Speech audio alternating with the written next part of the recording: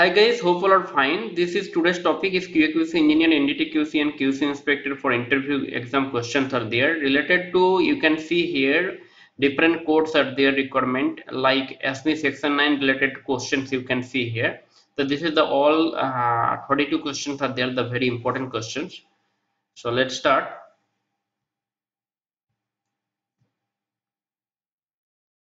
The first question each welder must be assigned an.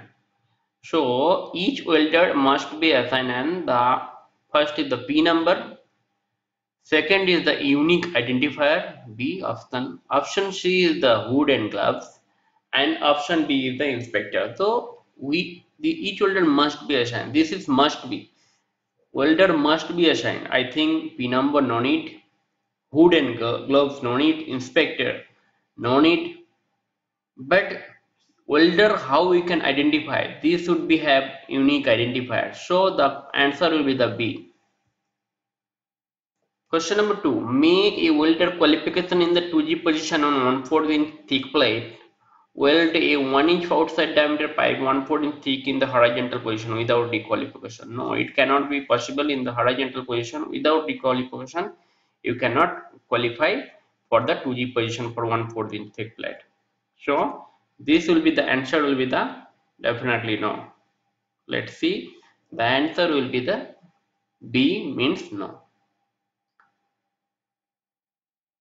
Question 3 what is the difference between the gas metal arc welding and the gas tungsten arc welding? So what is the difference? Gas metal arc welding means the metal is deposited metal is depositing with the uh, as a arc welding but tungsten this is the non-consumable. So difference you can see here the option is there.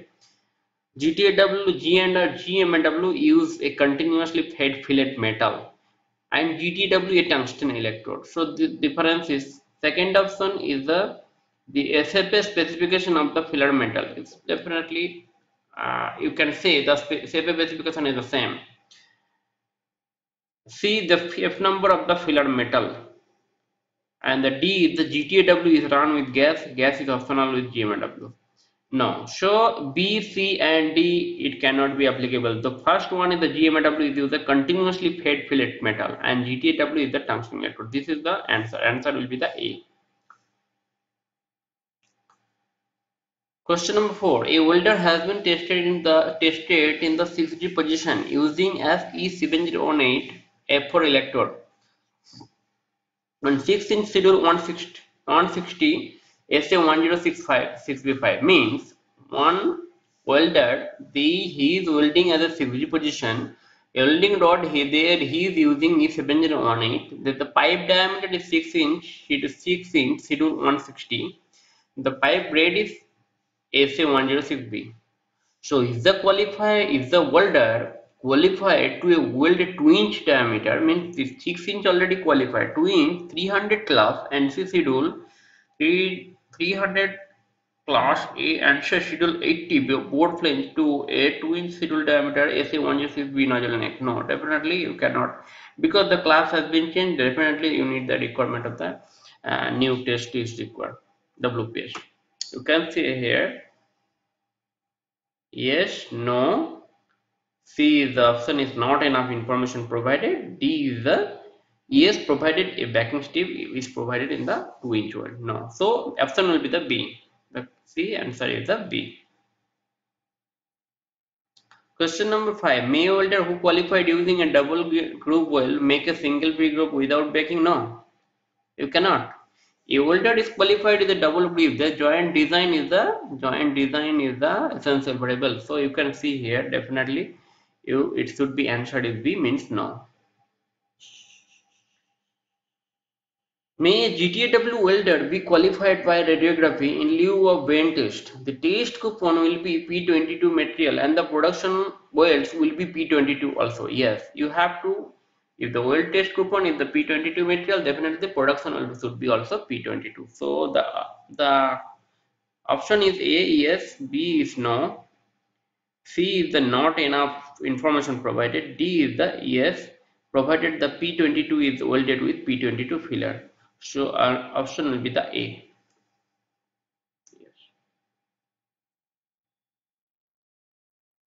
Question number 7. Who is the responsible for qualification for welding procedure? Welders and welding operators. Who is the responsible? Definitely. Let's see. The inspector is there on option. B is the, the AI. Approved inspector, the shop foreman. And the D is the, the manufacturer of the contractor. So definitely answer is the D. The manufacturer of contractor is the responsible for qualification of welding procedure. Question number 8. A welding electrode has the marking of E6010. The one marking indicates. This is a very important question. E means electrode, 60 means 60,000 psi is tensile strength, 1 equal to position. You can see here flat position only, 1, B horizontal position only, C the all position and D only good for heat treated walls. So answer will be the C means 1 means all position. So you have to remember the 1 means all position. Question number 9. May FCAW welder qualified using UT be used to weld in production? FCA welder only. I think it should be no. No. Yes, welder can be used. No, welder cannot be used. Then Yes, if welder is using GMAW sorter and the D is option is yes if welder is qualified with baking. So answer is B. So definitely you cannot you cannot judge or qualify procedure qualify only qualified with using UT. So it cannot be used in production. Question number 10 a welder may deviate from the parameters specified in, the, in a WPS if they are non-essential variable. Means a welder may deviate from the parameters. One welder, he is doing the welding, but he is not maintaining what parameter is specified in the WPS, what is requirement, is not maintaining. If they are a non-essential variable,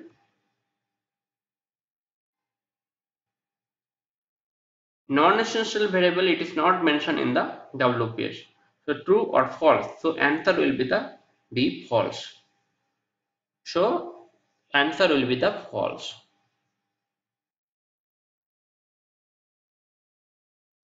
What is the number of transfer guide bend tests required for performance qualification in 6G position?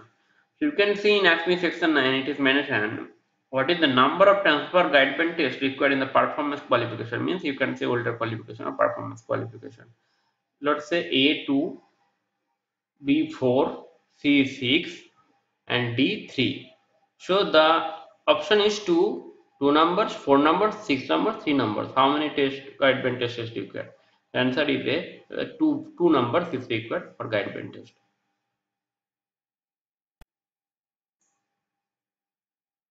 Question 12. What position are necessary to qualify welder for all position pipe welding? What position are necessary to qualify a welder for all position pipe welding? Definitely the option you can see the answer will be the definitely 6G, 2, 3G and 4G, 2G and 5G, 3G and 1G, last is 4G and 5G. So this is the difference, something different. So uh, all position pipe welding, definitely it should be option B, 2G and 5G. If it is qualified, then it will be qualified for all position. Question number 13 what ASME code section has welding electrode storage requirement? The ASME section 2 part C is the actual answer. So let's see the A ASME section 9, ASME 8, section 8, ASME B 31.1, ASME section 2 part C. So answer will be the answer D. The ASME section 2 part C is the for welding electrode. You can see the filler metal requirement. Definitely there, there is a requirement the storage requirement. Question number 14. A repair organization has a WPS which stated it is a qualifier for P number 8 to P number 8 material welded with E308, E308L, E309, E316 electrode. The PQR supporting this WPS states that the weld test coupon were SA240 240 type 304L material welded with E308 electrodes means the voltage coupon it was SA240 and the type of material 304L material and welded with 308 electrode. Is this WPS properly qualified for the base material listed? So option is A, yes. B, no. C, not enough information given. Yes, is if properly head treated. I think it should be no. So welded with E308 electrode is the WPS 30L material but welded with 308 electrode. Is the WPS properly qualified? No. Question 15. May a GMAW short circuit transfer welding procedure be qualified using real-time ultrasonic? May a GMAW short circuit transfer welding procedure be qualified with real-time ultrasonic? No. No you cannot uh, short circuit transfer the welding procedure you cannot qualify to the real time ultrasonic question number 16 there three arc welding processes are one is BMAW, SMAW, GMAW, EFGAW. B is FCAW, SAW, ESW. No. SMAW, GTAW, PAW. Okay and the D is PTAW, SLAW, EW. I think answer will be the C. SMAW, GTAW, PAW. Plasma arc welding, gas tungsten arc welding, shielded metal arc welding. The answer will be the C. Question number question number 17. Question number 17 is a welder was qualified with a P1 test coupon using SMAW E7018 electrode. May the welder weld P4 material using E8028 electrode with baking in production? Assume the P4 procedure using E8028 electrode has been qualified. A welder was qualified means P1 test coupon is qualified using the E7018 electrode. May the welder is P4 material. I think P1 to P11 is the same but P4 material using the A8018 electrode with baking production. I think no. I think no. Let's see the answer will be A yes, B is no not enough information provided and C is the D is the none of the above. The answer is yes. So because of the SMA C7018 electrode, so it is the higher is 8028 the PO4 material. That's why it is you can be answer will be the yes.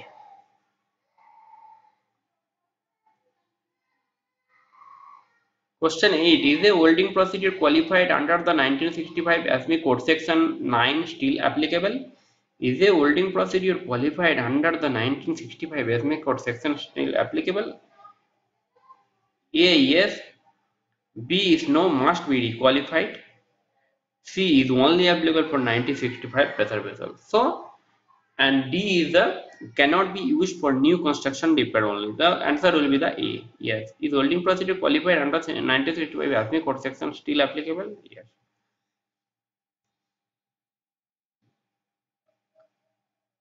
What are the various positions in which a welder may qualify for plate groove welds? What are the various positions in which a welder may qualify in plate groove weld? Answer is A is the option 1G, B is the 3G, C is 4G and D is the all of the above. So answer will be the C. The 4G position is the you can welder qualified in the plate groove weld. The 4G plate groove weld is the 4G. You are reviewing a WPQ QW484 for a welder testing in the 6G position on a SF53 grade V5. The test result indicates the following. You are reviewing a WPQ for a welder testing in the 6G position on a SF53 grade. So the test result will be, let's see the test result. Tensile develop 51,000 psi. Number one broke in the weld Number 2, tensile develop 56 9900 psi broke in the base metal. Number 1, transfer root bent satisfactory. And number 2 is the transfer phase bent satisfactory. So, the question will become, will this disqualify the welder? Will this stage qualify the welder? Yes. B, no. Not enough information is there. And the last one tension test is acceptable but number one is unacceptable. So the answer will be what will the answer? Answer is d. Tension test is acceptable but number one is unacceptable. So number one is unacceptable. Tensile developed with 51000 block in the weld. So weld metal if it is tension in the block in the weld in the tension test then it will cannot be acceptable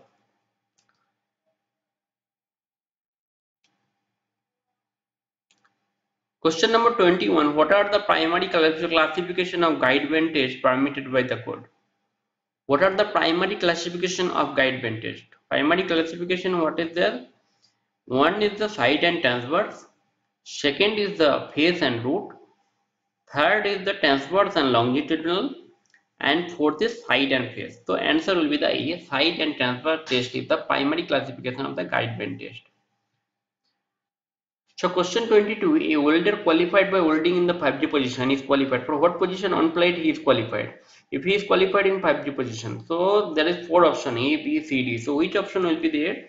The answer C is the correct one, the vertical OH and SP. So the answer will be the C. Question 23, which of the following is a covered electrode? Definitely, if it is E708, definitely E701 is the correct answer. There is you can blindly say answer B. Applicable essential variable must be documented in which of the following? Applicable essential variable must be documented in which of the following? Definitely in the WPH, in the PQA, the WPQ, and the all of the above. Definitely, I think answer will be the D, all of the above. You have to follow in the WPH, you have to follow in the PQR and the WPH. Means WPQ means older performance qualification also need this essential variable. Question number 24. In performance qualification of pipe 12 to ASME section 9, which positions require more than two guide bend test specimen for qualification? I mean, in performance qualification, you can see the pipe welds in ASME section 9, which position require more than two guide tests. Actually, if you see the performance qualification, performance qualification, two guide test is enough. But if it is which position, it is require more than two guide test position uh, requirement like 5G and 6G, 2G and 4F, 4G and 5G, and none of the above. The answer will be the D, none of the above.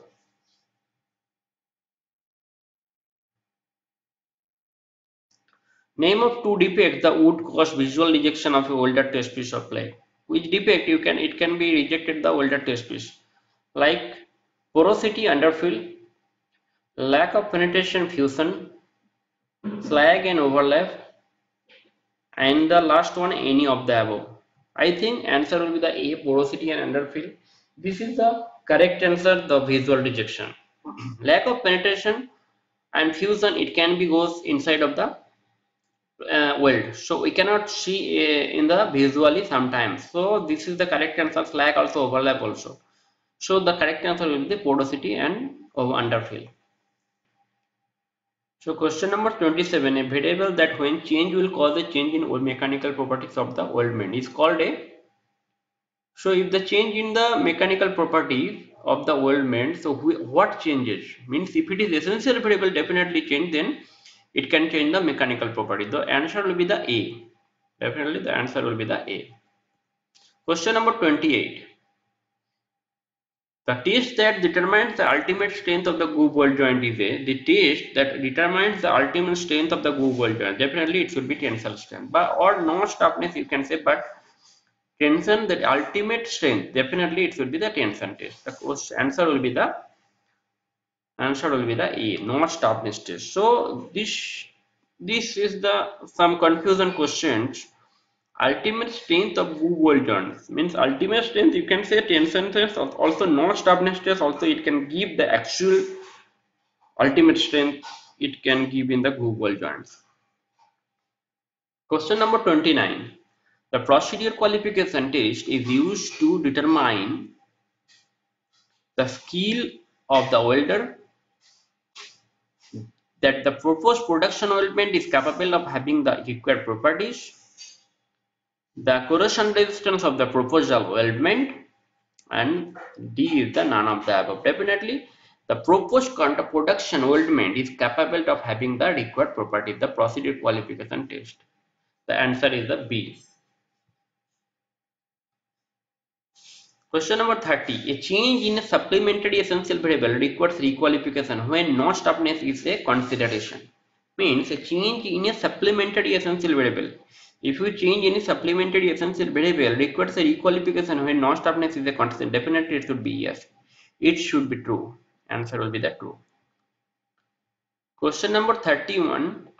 When using macro examination of fillet weld test, the weld and the hedge must not reveal cracks when magnified at means if you see in the uh, if you see in visually in the macro examination in the fillet weld test the weld and hedge must not reveal cracks it is it should be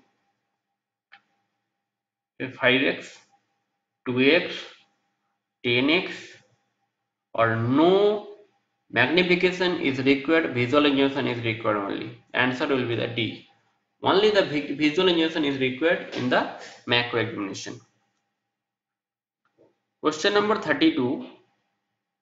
A non-essential variable may be changed without requalification because because that it's, it is not affect any mechanical property. You can see nobody cares about non-essential variable. Answer is uh, welder is allowed to change variable at his discretion. Discretion. Non-essential variable do not affect the mechanical or notch toughness properties and you understand now what will be the answer non-essential variable cannot be changed without equalification so answer will be the c it cannot affect the mechanical or notch toughness properties so question number 33 a wps must only address essential and if applicable supplementary essential variable if applicable only address essential. True or false? This is the false. The data recorded on a PQR non-editorial non-editorial may be changed provided. So the data recorded on a PQR. So this is the AI approval, approval inspector approval. The test data on a PQR is record what occurred and should never be changed. Only additional editorial information can be changed on a PQR. Okay. And the see the API 510 inspected approval and the the date of the WPS is changed. Definitely the answer will be the B.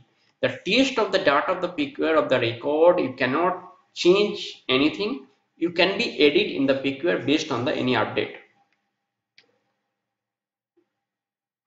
question number 35 tension test may be used in lieu of bend test to qualified welder or welding operator so it can it cannot be true it should be it is false it is false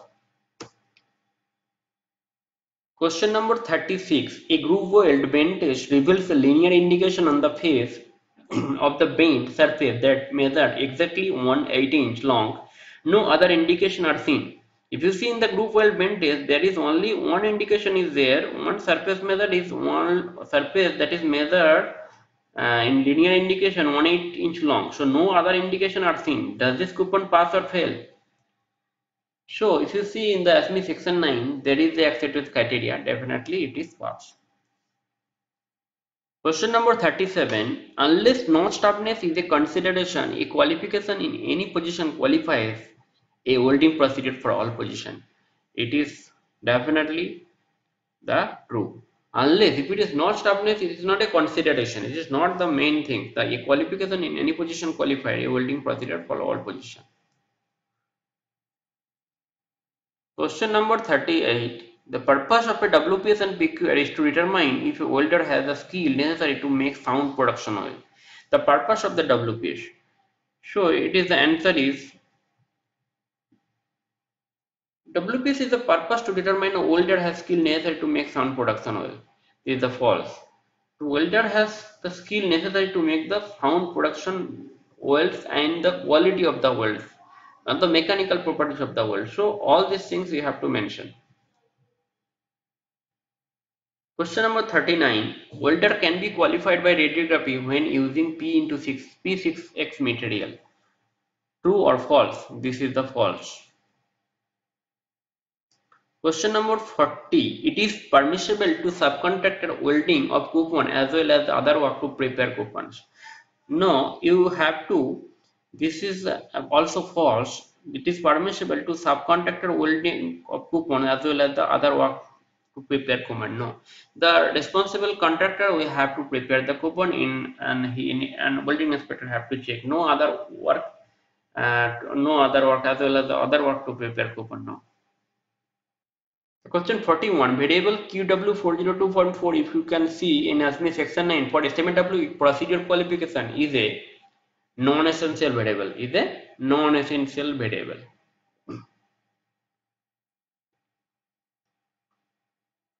If you see variable QW404.24 for SAW procedure qualification is a definitely can see A essential variable, B non-essential variable, C supplementary essential and none of the above. So answer will be the A, the essential variable. So question number 43.